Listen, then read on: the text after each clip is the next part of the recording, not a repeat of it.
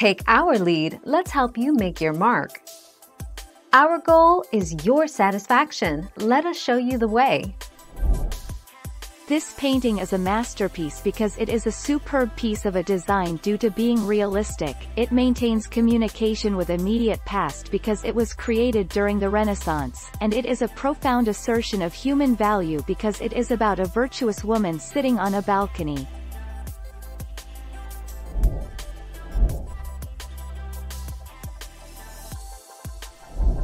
Make your mark, take our lead. The Mona Lisa is androgynous, half man and half woman, he said.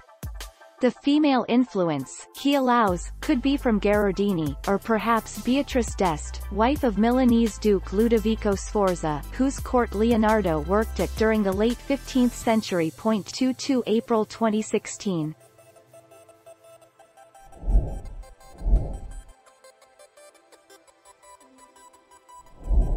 Let's help you make your mark.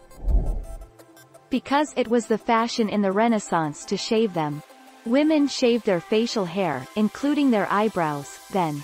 Leonardo was an Italian, but he sold the painting to the King of France. The Mona Lisa has brown eyebrows.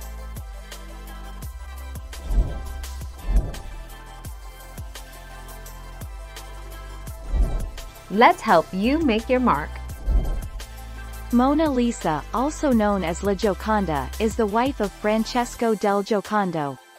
It is a visual representation of the idea of happiness suggested by the word Gioconda in Italian.